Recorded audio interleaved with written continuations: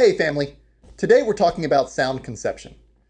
The sound you're going for really starts with the sound in your head.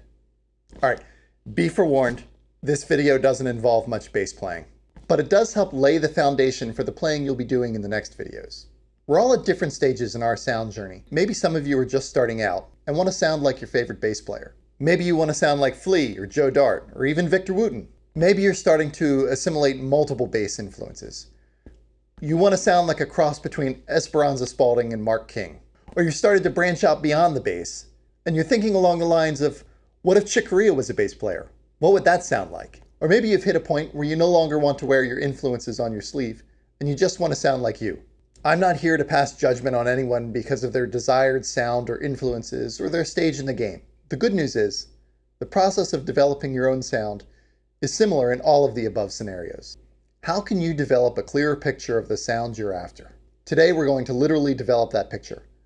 I want you to get very explicit with your sound goal. All right, some of you may be saying, wait a minute, I don't have just one sound goal. I like a huge variety of music.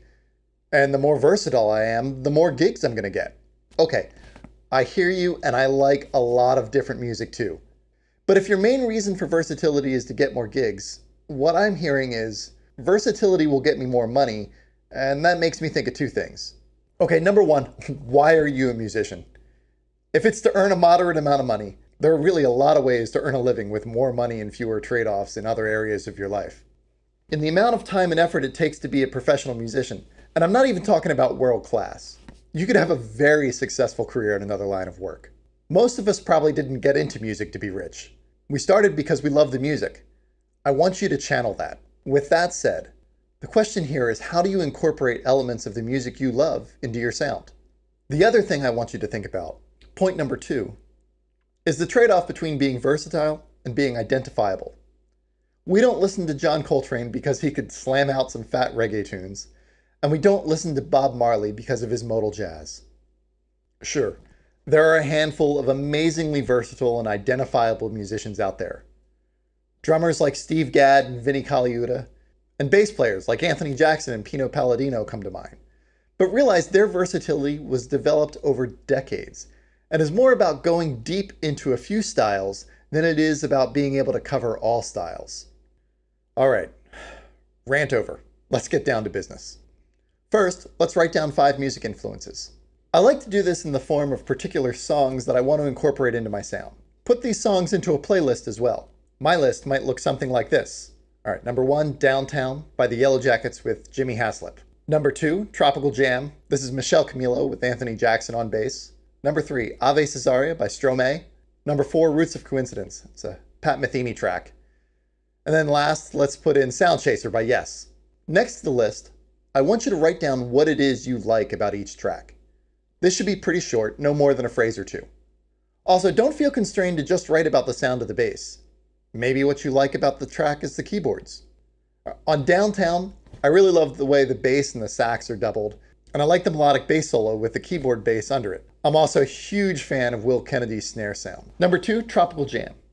I love the fast piano and bass lines and the precision and the groove here. Okay, on the Stromae track, the organic feel of the voices and the guitar and the clapping is awesome.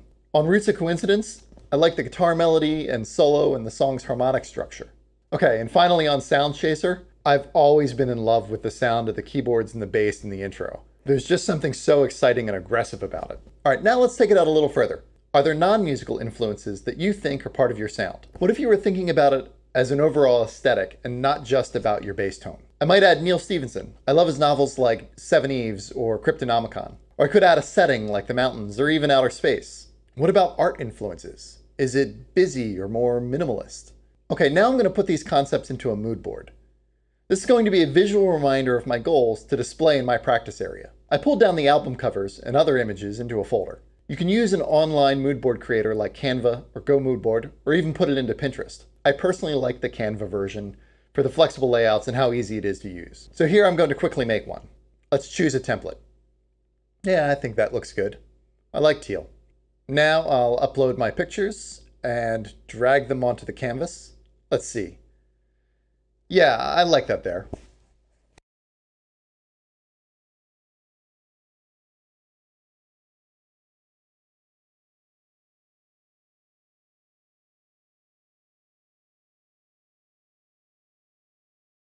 All right, and I'm ready to download and print. Hmm. Ah, I can share it too. All right, there's a link below. Share links to your mood boards in the comments below. I'd love to see them. Okay, and here we are. This feels a little like a cooking show where they put a dish in the oven and then pull out the same dish already done a few seconds later. Now that we have a clearer picture of our goal, we're all set to move on to the next phase, which is deepening our understanding of our preferences. I hope you enjoyed the video. Click like and subscribe below to get the rest of the series as we work on developing an identifiable sound. Did you find this video valuable? Let me know either way. All right, thanks for watching.